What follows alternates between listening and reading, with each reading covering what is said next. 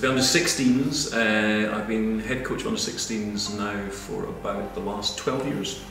Getting to the final, well, that was the kind of goal that we set as a team when we met uh, last summer term. And the boys talked about uh, where they wanted to get to, and then we looked at how we would get to that point. And we talked about having our North Star, uh, the idea that we had one true aim, and that's what our efforts were going to go towards. And to get to the final was, was very much part of that.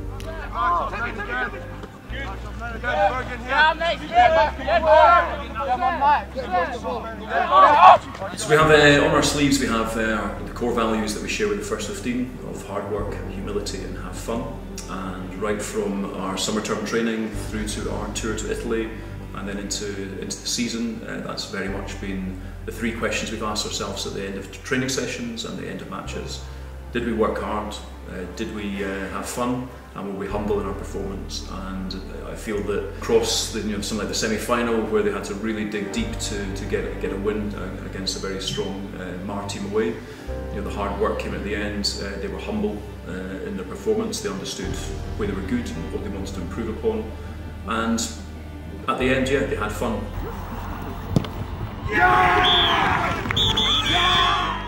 If they want to be successful, and success is not about winning, success is about uh, becoming better at, you know, at, who you are. Uh, so it's not just all about performance on the field, it's you know, how are you around the school, how are you with each other. Um, and I think that's been a really key bit for these boys, that they, have developed, yes, as rugby players, but I think they've also developed as young men. I think that's a really important part of what we do, um, and it's something that, you know, whether it's the values or just, just discussions with them, just making sure that they, they, they keep keep that in focus.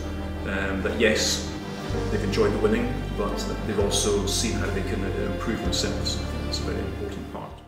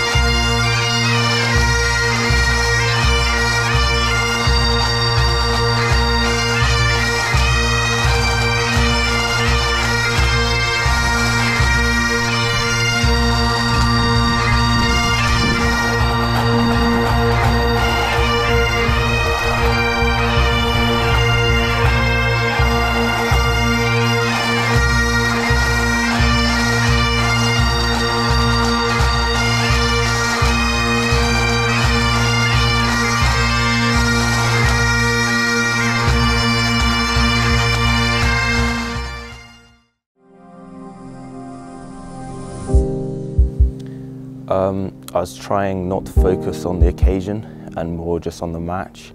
I had like a mantra in my head, uh, just another game. Such a, such a great feeling to be leading this squad, that the squad of boys that have worked so hard this entire season. And uh, it's just being with your friends and playing on the pitch, it's a, it's a really great feeling.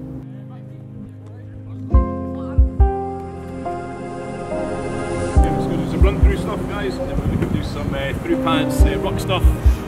Maybe a little bit more run through, and then the pads, and then that's us. So, so heads on, you're going to attack this way, boys, you're going to attack this way.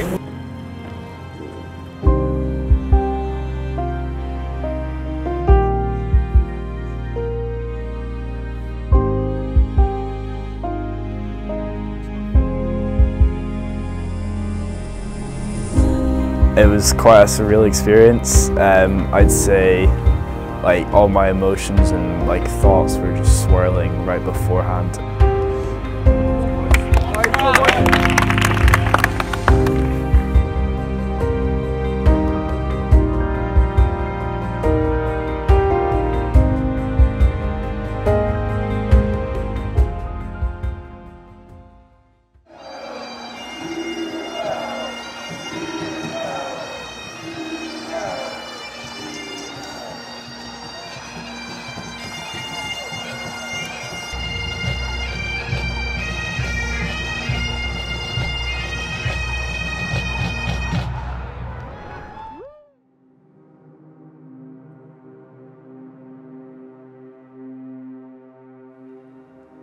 I think going through my head when I stepped onto Murrayfield was some experience. I knew there was a lot of pressure on me and the boys to go out and put a performance.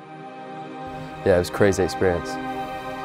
All the players who have played on the pitch, so the likes of Handré Pollard, number 10 for South Africa, and Dan Carter and all those guys. It, it was big, big memories of watching them play. It was like it was really good to see all the fans in the stadium and um, like getting all the hearing all the chants on the pitch. It was all, it was awesome. As I was running out, that's just going over my head, just another game. I tried not to look up at the stand um, and just at the pitch, it's just another rugby pitch, and just focus on the job of the day, which I think helped me not get overwhelmed.